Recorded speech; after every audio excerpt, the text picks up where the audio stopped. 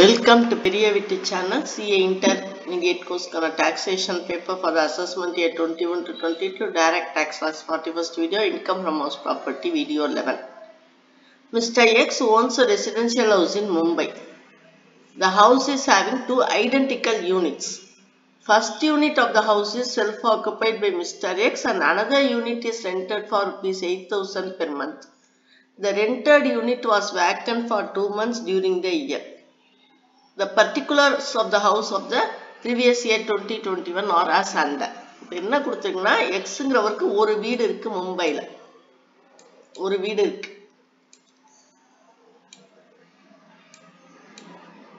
இது ஒரு வீடு. எக்ஸோட வீடு. First the house is having two identical units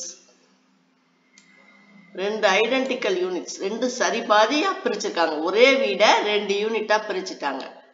First unit of the house is self occupied இந்த யூனிட் வந்து செல்ஃப் ஆக்குப்பைடுன்னு வச்சுக்கோம் ஐடென்டிக்கல் யூனிட்ல ஒரு unit another unit is rented அதாவது லெட் அவுட் ஹவுஸ் இது லெட் அவுட் ஒரே வீடை தான் இந்த மாதிரி பிரிச்சிருக்காங்க. அப்ப இது எந்த கேட்டகரி கீழே வரும். கேட்டகரி சிக்ஸ் இது.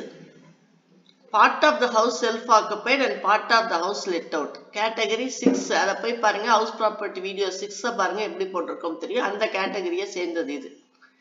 அதுலயே இந்த லெட் அவுட் ஹவுஸ் இருக்கு பாத்தீங்களா? இது vacant for two months two மந்த்ஸ்க்கு இது வேக்கன்சியாகவும் இருக்கு. அப்ப இந்த லெட் அவுட் ஹவுஸ்க்குள்ள இது வந்து கேட்டகரி டூவா வந்துடுது இது மொத்தத்துல கேட்டகரி சிக்ஸ் இந்த கேட்டகரி சிக்ஸுக்குள்ள இந்த லெட் அவுட் ஹவுஸ் இருக்கு பாத்தீங்களா? அது வேக்கன்சியோட வர்றதுனால இது கேட்டகரி டூவா வந்துடுது புரியுதா உங்களுக்கு? கேட்டகரி சிக்ஸுக்குள்ள இந்த லெட் அவுட் ஹவுஸோட கேட்டகரி வந்து டூ ஏன்னா வேக்கண்ட் அப்படிங்கிற வார்த்தை வந்ததுனால இது கேட்டகரி டூ அப்ப அந்த ஹவுஸ் ப்ராப்பர்ட்டி டூல போய் பாருங்க கேட்டகரி டூக்கு என்ன மாதிரி டேப்லேஷன் போட்டிருக்கோம்னு சொல்லி.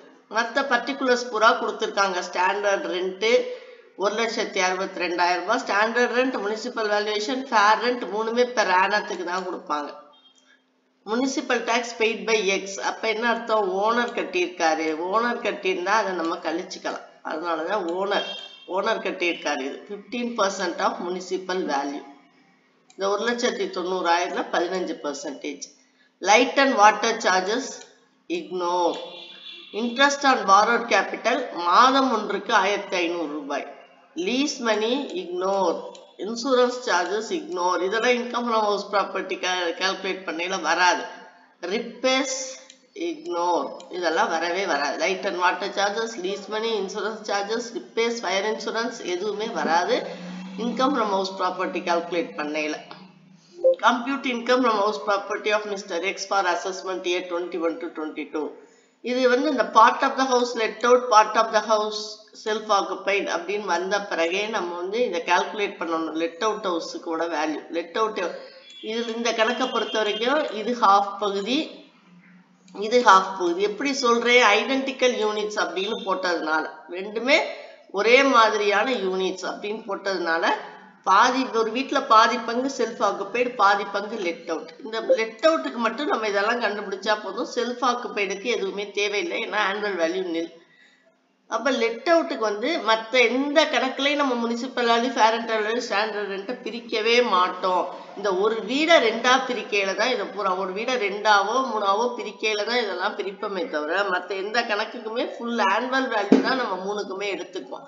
அதனால எங்கேயும் உங்களுக்கு ஒரு வீடை பிரிக்கிற ஒரே ஒரு வீடு அதை பிரிக்கிறாங்க. பிரிச்சு ரெண்டு வீடா கன்சிடர் பண்ணாங்க. ரெண்டு வீடுன்னு நம்ம சொல்லக்கூடாது. ரெண்டு யூனிட்டா கன்சிடர் பண்றாங்க அப்படின்னு சொல்லும் போது அங்க முனிசிபல் வேல்யூவையும் நம்ம அதா பிரிச்சாகணும். அப்ப இங்க லெட் அவுட் வந்து ஹாஃப் அப்படிங்கிறதுனால ஃபுல் வேல்யூ ஒரு லட்சத்தி தொண்ணூறாயிரம்னா அதுல பாதி தொண்ணூத்தையாயிரம்.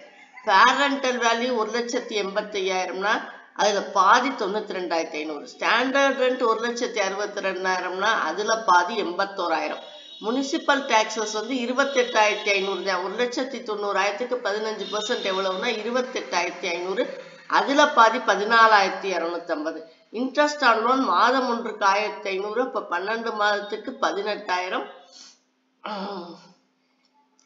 பதினெட்டாயிரம் அதை ரெண்டா பிரிச்சா ஒன்பதாயிரம் இதெல்லாம் லெட் அவுட் ஹவுஸுக்குள்ள பங்கு. லெட் அவுட் ஹவுஸுக்குள்ள முனிசிபல் வேல்யூ இப்போ தொண்ணூத்தையாயிரம் லெட் அவுட் ஹவுஸுக்குள்ள ஃபேரண்டல் வேல்யூ தொண்ணூற்றி ரெண்டாயிரம் ஸ்டாண்டர்ட் ரெண்ட் எண்பத்தோராயிரம் முனிசிபல் டாக்ஸஸ் பதினாலாயிரத்தி இரநூத்தம்பது இன்ட்ரெஸ்ட் ஆன் லோன் ஒன்பதாயிரம் அது மாதிரி லெட் அவுட் வந்து எவ்வளவு பங்கு அப்படின்னு பார்த்து அந்த பங்குக்குள்ளது எவ்வளவு அப்படின்னு சொல்லி நம்ம கண்டுபிடிச்சு வச்சுக்கணும். இதுதான் நம்மளுடைய முதல் வேலை. எப்போ பார்ட் ஆஃப் த ஹவுஸ் வந்தால் இதுக்கப்புறம் தான் நம்ம கணக்குக்குள்ள போகணும். In compute of income for house property for X for A assessment A twenty one to twenty two இப்போ ரெண்டு யூனிட் எப்போவுமே இந்த கேட்டகரி சிக்ஸில் வந்து ரெண்டு காலம் வரும் இந்த இடத்துல.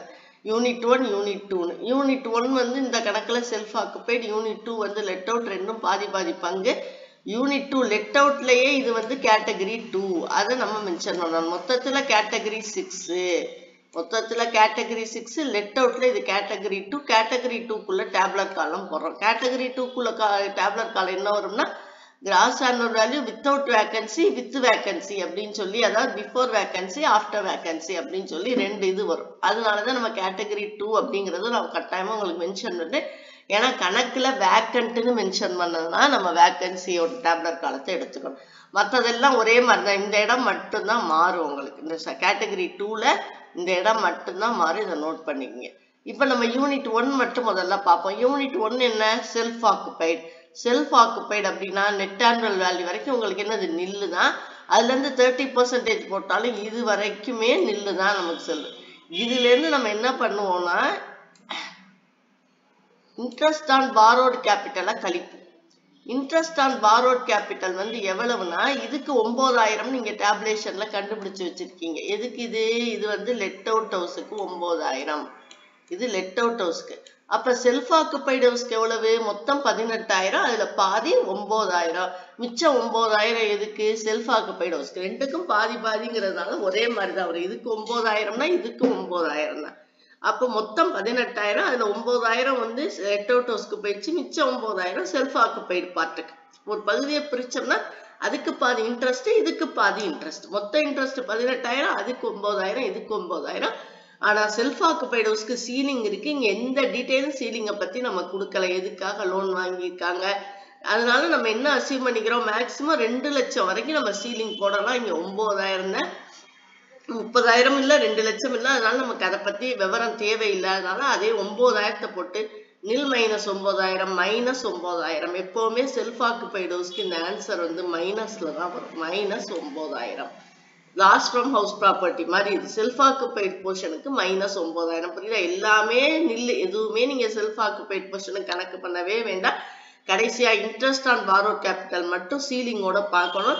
இங்க முப்பதாயிரம் ரெண்டு லட்சம் ஆனா எந்த கேஸ் என்ன விவரம் விவரம் எதுவுமே கொடுக்கல. ஆனா ரெண்டுமே வந்து முப்பதாயிரத்துக்குள்ளேயோ ரெண்டு லட்சத்துக்குள்ளேயோ தான் இந்த ஒன்பதாயிரம் இருக்கிறதுனால அப்படியே அலோவ் பண்ணியாச்சு. அப்ப மைனஸ் ஒன்பதாயிரம் செல்ஃப் ஆக்குபைடு போர்ஷனுக்கான வருமானம்.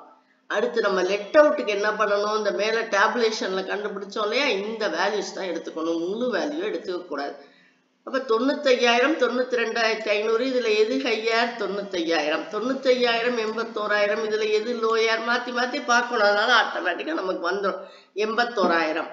இதில் வந்து டுவெல் மந்த்ஸ் ரெண்டையுமே எடுத்துக்குங்க. இப்போ வேக்கன்சியை கணக்கு பண்ணாதீங்க. டுவெல் மந்த்ஸ் ரெண்ட் போடுங்க தொண்ணூத்தாறாயிரம்.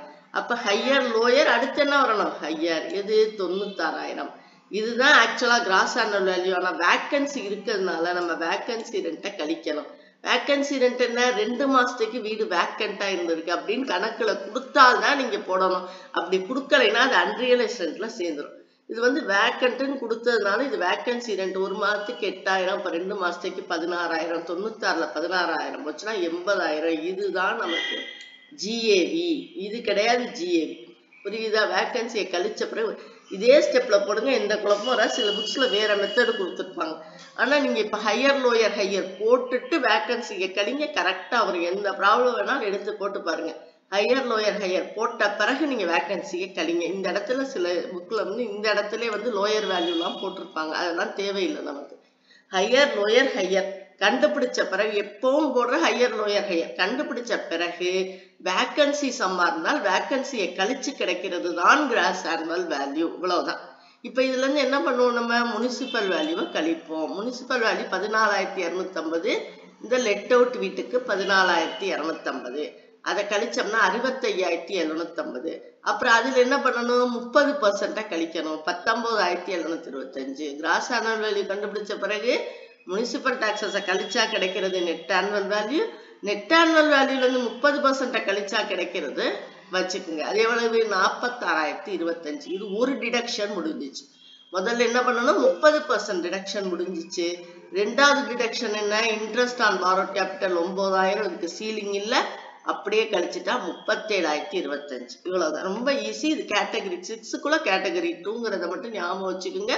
வேக்கன்சி ரெண்டை கழிச்சிட்டு நீங்க போடுங்க. போட்டுட்டு மற்றதெல்லாம் ஒரே மாதிரி தான் அப்ப இன்கம் ஃப்ரம் யூனிட் டூ என்ன முப்பத்தேழாயிரத்தி இருபத்தஞ்சு. அப்ப மொத்த வீட்டுக்கு அவருடைய இன்கம் என்ன? முப்பத்தேழாயிரத்தி இருபத்தஞ்சுல இருந்து ஒன்பதாயிரம் போயிடுச்சுன்னா இருபத்தெட்டாயிரத்தி இருபத்தஞ்சு தான் இவருடைய இந்த வீட்டுக்கான வருமானம். வீட்டுக்கான வருமானம் வந்து முப்பத்தோராயிரத்தி இருபத்தெட்டாயிரத்தி இருபத்தஞ்சு. முப்பத்தேழாயிரத்தி இருபத்தஞ்சு இந்த யூனிட்ல வருமானம் இந்த யூனிட்ல நட்டம் ஒன்பதாயிரம் ரெண்டையும் கழிச்சா இந்த வீட்டுக்கு அவருக்கு கிடைச்ச வருமானம் வந்து இருபத்தெட்டாயிரம் இருபத்தஞ்சு இதுக்கு அவர் வரி கட்டணும். இருபத்தெட்டாயிரத்தி இருபத்தஞ்சுக்கு அவர் வரி கட்டணும். புரிஞ்சு அவங்களுக்கு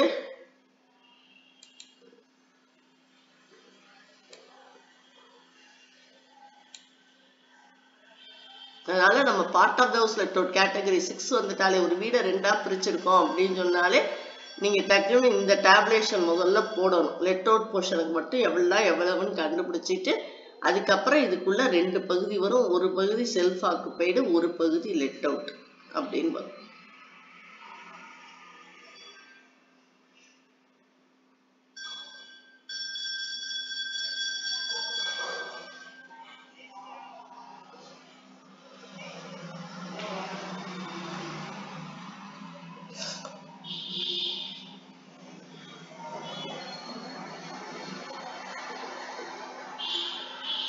Thank you for watch, watching. Please subscribe.